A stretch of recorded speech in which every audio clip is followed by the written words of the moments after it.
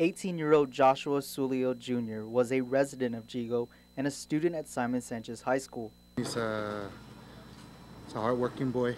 Uh, loves to help the family, you know. Uh, does his best at everything. Loves the outdoors, skateboarding, offloading. uh, even just going into the jungle. His father, Joshua Sulio Sr., is still coming to terms with what happened.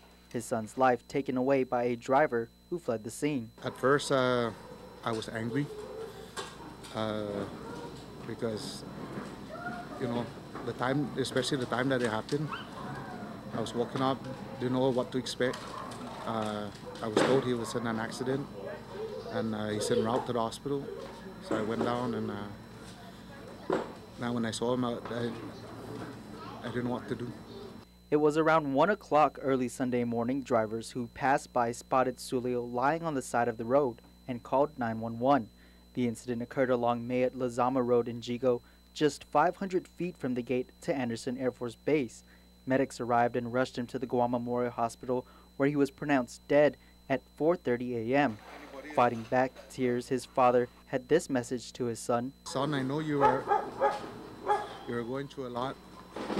I know I was hard on you, but I was only doing it to set you on your right path and that I love you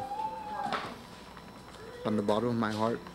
As for a message to the community, Mr. Sulio urges the public to come forward if they have any information about the incident or the driver who fled the scene. For this uh, tragic, tragic accident uh, that happened to my son, it was uh,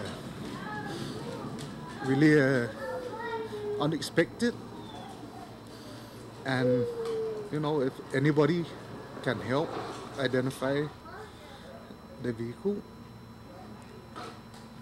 I just need an answer. You know, any answer.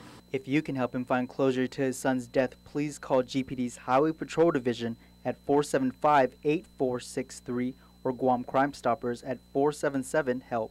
Reporting for Guam's News Network, I'm Nick Delgado.